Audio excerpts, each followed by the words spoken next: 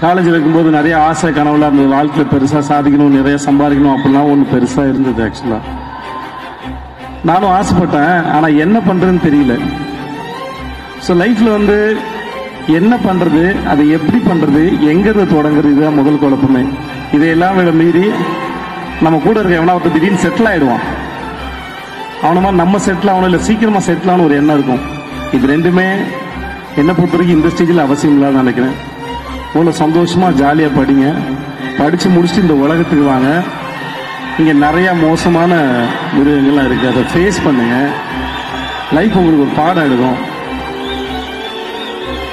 அந்த பாடத்தை அப்சர்வ் பண்ணுங்க. கண்டிப்பாக நீங்கள் அடுத்த கடத்துக்கு போய் நம்புகிறேன் நான் ரொம்ப நேரம் பேசி